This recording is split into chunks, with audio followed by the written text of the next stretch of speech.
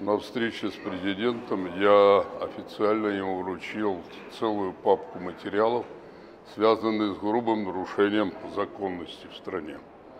Одновременно и список тех, кто, кого после выборов фактически профилактировали. Более ста человек или оштрафовали, или посадили, или продолжают преследовать. То же самое творится и с коллективами народных предприятий, будь то предприятие Грудинина, против которого не прекращаются судебные тяжбы и попытки рейдерского захвата, или Казанкова, одного из лучших руководителей которого судили пять лет и припаяли два года условно, только за то, что он 20 лет тому назад разработал небольшой карьер для улучшения плодородия почв. То же самое теперь и с предприятием Сумароку в Иркутской области. Мы подготовили целый список тех, кого последнее время арестовали, судили, кого посадили на 10 суток, кого на 20, кому припаяли штраф 10 тысяч, а Янгалычу 600 тысяч за, это депутат Московской Думы, за несколько приемов. Вчера профилактировали Николая Бондаренко, которому, правда, штраф выписали одну тысячу, но одновременно вручили следующую повестку, пытаясь, по сути дела, за три административные наказания выбить талантливого политического и общественного деятеля из предвыборной гонки, которая состоится в этой области в следующем году. Мы официально обратились с просьбой к Думе, чтобы пригласить генерального прокурора и министра внутренних дел, и они дали ответ на эти вопросы. Президент поручил официально разобрать все эти наши обращения силовым ведомством. Я надеюсь, что прокурор Краснов даст нам ответ на те материалы, которые лежат у него не только, которые поступили от администрации президента, но и на все обращения наши, а их там целый пакет. Почему мы настаиваем на этом? Потому что страна как никогда требует стабильности, как никогда ее обложили санкциями, на границах уже неспокойно, и эта вакханалия будет продолжаться. Казалось, что все партии и движения, в том числе и силовые ведомства, последуют тем установкам, которые президент высказал в ходе обращения к депутатам в Кремле, где он сказал, для всех нас исключительно важна стабильность, очень важно объединение общества вокруг единого дела, а таким делом является во многом его послание, то есть выйти на мировые темпы экономического развития, остановить вымирание страны, все сделать для того, чтобы преодолеть обнищание – и э, выйти, войти в пятерку ведущих стран. Мы, кстати, это услышали, подготовили реальную программу. С программой 10 шагов достойной жизни мы шли на выборы в Государственную Думу и сегодня готовы реализовывать целый пакет законов. Его внесла наша команда, руководители комитетов. Коломейцу представил это на Совете, и я надеюсь, что эти документы будут рассмотрены в первую очередь прежде всего о минимальном прожиточном минимуме в 25 тысяч рублей, не менее. В противном случае и дальше будем вымирать ударными темпами. В этом году страна потеряет почти 900 тысяч человек. Три города на 300 тысяч, как после атомной бомбардировки. Посмотрел, как складывается ситуация за прошлый месяц. На пять покойников, три новорожденных. Нигде в мире, ни в одной стране нет таких последствий. Все списывают на ковид. Да, ковид – противная болезнь, но главная причина в разгроме всей медицины. Из 15 тысяч медздравоучреждений 10 тысяч было ликвидировано. Первичная медицина почти вся разгромленная и списана на местные бюджеты. Они сидят все в долгах, как в шелках. Я бы э, хотел через вас обратиться к генеральному прокурору. Меня, как политика и человека, крайне беспокоит сложившаяся ситуация преследования наших первых секретарей, руководителей нашей фракции, начиная от Ашихмина на Сахалине.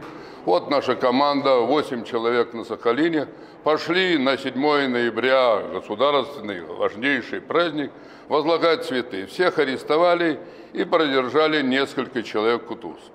Наши комсомольцы в Ленинграде решили тоже возложить цветы, отметить этот праздник. Задержали их 30 суток, держали в околотке, потом посадили в автобус и еще 5 часов везли до суда для того, чтобы наложить на них санкции. На мой взгляд, те, кто этим занимается, они стопроцентные провокаторы. Они не понимают, что мы отмечали и будем отмечать день рождения комсомола Великого Октября. Для нас праздник Великого Октября – это главный праздник трудового народа на планете. Впервые в истории власть взял труд, а не капитал. Впервые в истории было создано уникальное советское государство. Впервые в истории оно за считанные годы сумело создать уникальную промышленность, великолепную науку и образование, победить фашизм, прорваться в космос, создать ракетно-ядерный паритет. Мы отмечали и будем отмечать это событие. Но как человек, который прошел всю эту административную, жуткую и страшную молотилку, которого судили без конца, запрещали, арестовывали, счета арестовывали, имущество дома описывали, даже в Думе государственную удерживали из моей зарплаты. По однодуманным предлогам суды творили произвол, а административные органы, по сути дела, преследовали. Мне очень не хотелось, чтобы это повторилось вновь, но у меня ощущение, что в стране действует какая-то пятая колонна, эти огрызки ельцинско-гайдаровской эпохи, которые не хотят понять, что левоцентристский поворот на всей планете идет, и никто его не остановит. Американцы это давно осознали, немцы уже избрали социал-демократов – в целом, левое настроение планета требует справедливости. И никакое прокурорское деяние без справедливости не может быть законным. Поэтому я бы попросил генерального прокурора ответить на эти ключевые вопросы. Все материалы у них лежат на столе.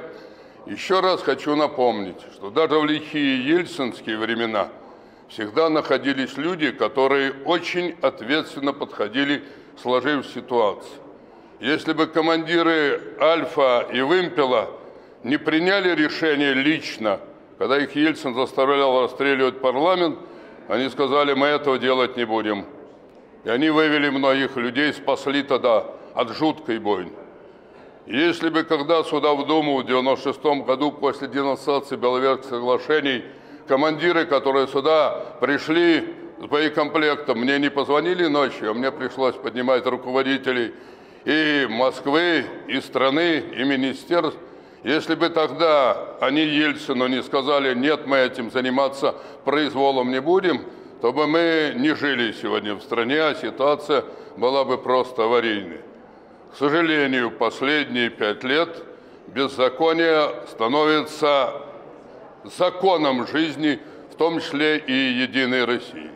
Я надеюсь, что генеральный прокурор тщательно подготовится к, этому, к этой встрече. Прошлая встреча, когда Чайка вместе со своими замами и коллеги отчитывались в Думе, она состоялась два с половиной года назад. Тогда они выступали с докладом о соблюдении законности в стране и трудовых обязательств перед гражданами страны.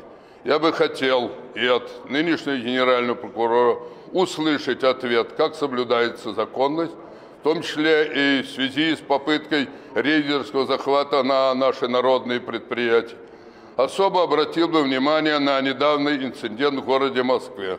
Небольшая фабрика, в которой работают женщины, аэроинтерьеры по производству мебели. Там работает 50 человек. Было несколько обращений в мэрию, не услышали. Говорят, та полихатовская шайка набросилась на этот коллектив. Прикрывались силовики. С этими материалами мы выступали в Государственной Думе. Костецкая, как руководитель фабрики, официально записала обращение. Новиков, наш кандидат в руководители Думы, первый же день открытия попросил остановить этот произвол. Я обратился к депутату Морозову, который возглавляет соответствующий комитет. Пока ничего не сделано.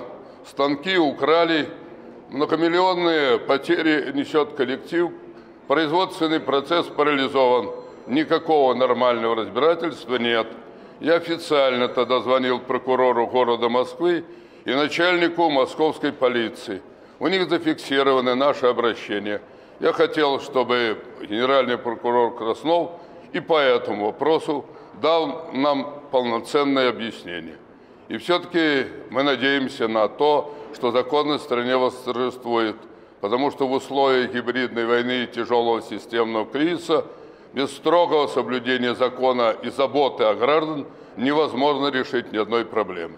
Наша партия действует строго в рамках закона, и мы все сделаем для того, чтобы гуманизм, законность и справедливость в стране восторжествовали.